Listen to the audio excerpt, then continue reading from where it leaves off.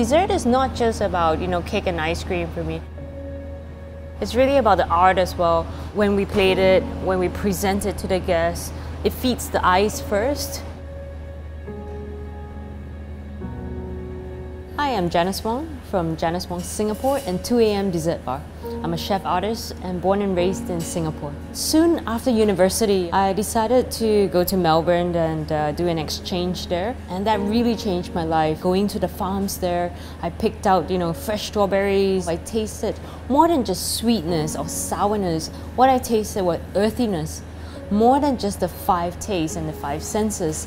And that really blew my mind and it gave me great inspiration to change my career path. What I decided to do was finish my degree, go straight to Paris to study in Cordon Bleu and I did a pastry degree there. After which I did a lot of internships all around the world and I worked through restaurants for at least about two years. Coming back to Singapore, at the age of 24, what I did was I found this spot here in Holland Village. It's a beautiful spot on level 2 and uh, decided to call it home. And this is the birth of 2AM Dessert Bar in 2007.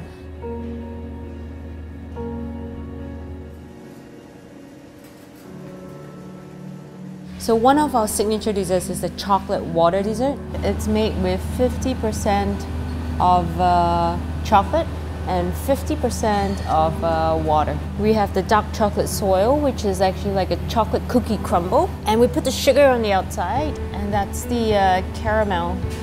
So right now, I'm just putting on a um, yuzu sorbet.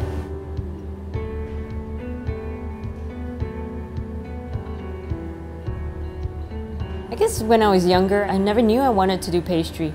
I've always, you know, started out uh, wanting to do finance, uh, follow my father's footsteps. Never thought I would come into the F&B industry because I knew nothing of it. All I did was I had the passion for it and so decided, you know what, let me give this a shot. So the first three months, we were so packed. That we were so packed that people were sharing seats. But of course, the real test comes six months after and a year after.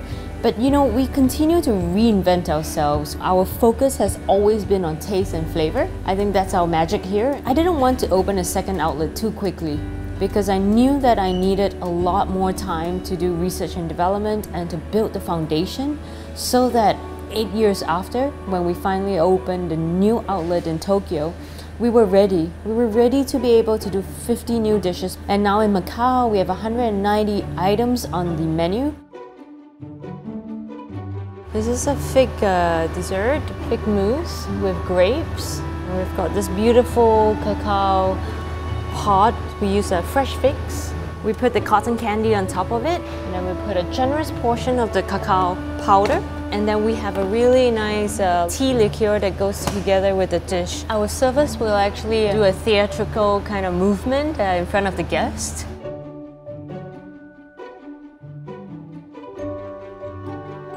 So we have this really beautiful fig compote. Let's go just cut it open with a rose and chocolate mousse over there. Being a female chef in a very male-dominated industry, um, it never really stopped me from still achieving what I want to achieve and actually it made me even more focused. That's the beauty of it uh, when you're outnumbered. Being a chef, it really demands a lot of the physical body. I mean, you're looking at standing for long hours in the day in the kitchens. You're looking at also giving up hours uh, spending time with family, but th that's the reality of it. For some women in the industry, they have uh, given up their jobs to bear kids, and I think uh, that's that's what it is. It's life, but um, it has inspired a lot more women, and in this generation, more women are coming out to multitask, um, juggling family as well as work.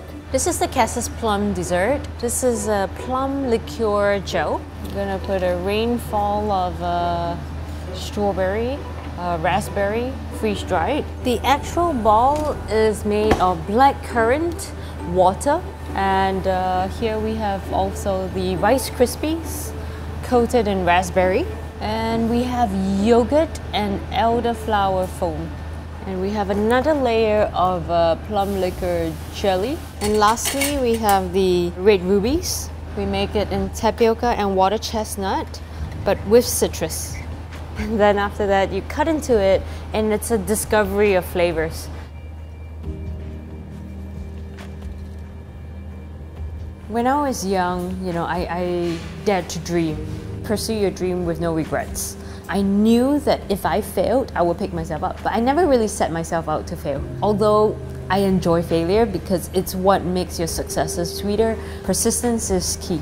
I mean, this is just an amazing journey that we want to continue, give you one of the best sweet experiences you've ever had.